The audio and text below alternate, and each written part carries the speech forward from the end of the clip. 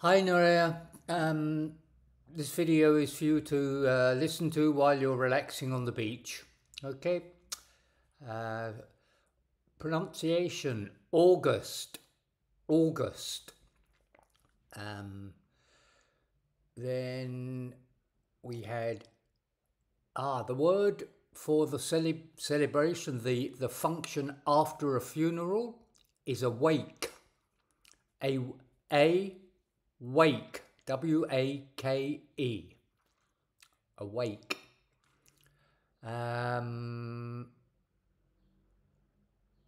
uh,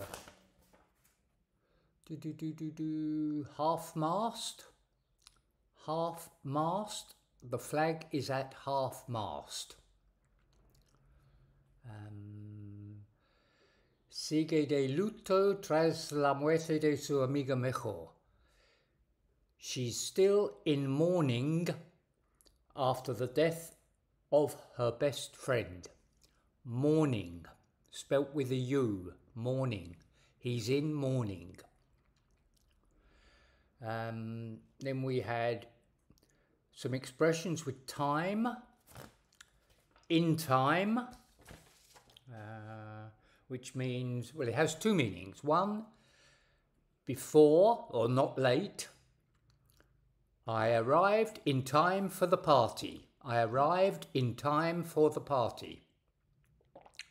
Or it also means eventually.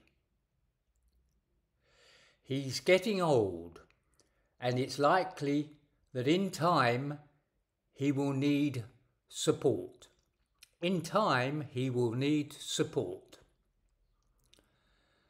And we had on time, which is punctual or at the right time, not late. Uh, Spanish trains always arrive on time. Spanish trains always arrive on time.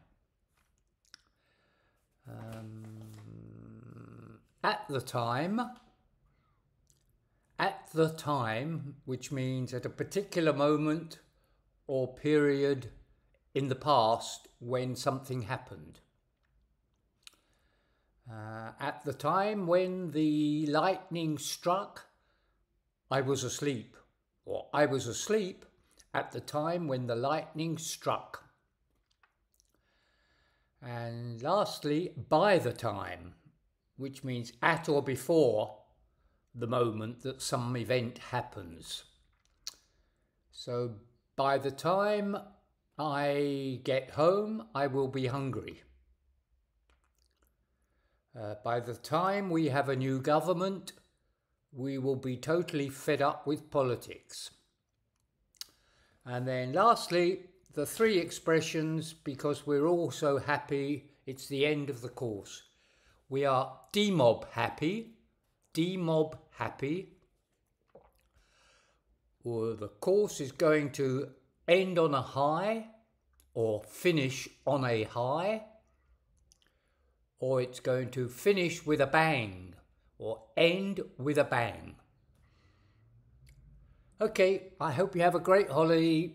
Probably see you uh, in September. Take care. Bye.